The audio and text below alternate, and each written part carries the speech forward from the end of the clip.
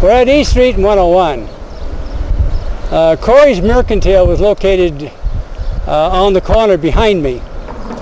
Uh, Mr. Cory and, and uh, Lily uh, and their two sons came from Lebanon in 1925.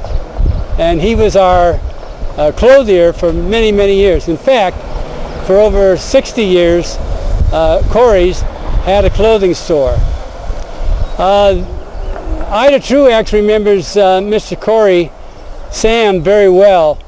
Uh, when in the 30s, uh, she came over some one August to go ahead and outfit her youngsters for school, two boys and two girls.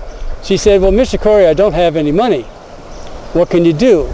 He said, don't worry about it. I'll put you on credit. When you get the money, just pay me. And so, you know, Mr. Cory was just that way. But that's the way that people were in those days because money was tough to get. And uh, you did barter, you, you did cash, okay, but uh, still, uh, there were uh, various ways of getting goods, not only with cash. The other thing that uh, occurred at that time was that um, Mr. Cory was robbed three times.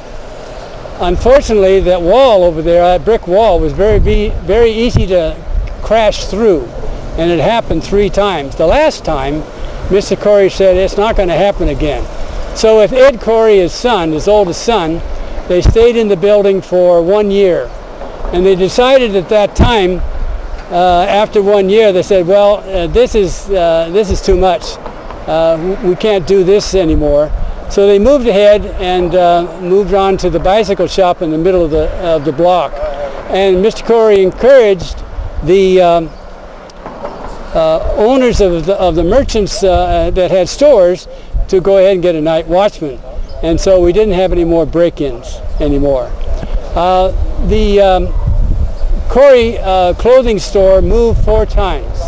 The last time they moved was out at Ralph's Mall. And um, uh, that was uh, probably in the, I would say in the 80s, uh, something of, of that nature. And uh, the two boys were, who were handling the store couldn't meet the lease. It was just too expensive. So we lost our clothing store and we lost a great deal of, um, of a tradition uh, in, in, in, that particular store feature. All right, we're at Cory's Mercantile again. Uh, and this is the wall that was inundated by the robbers.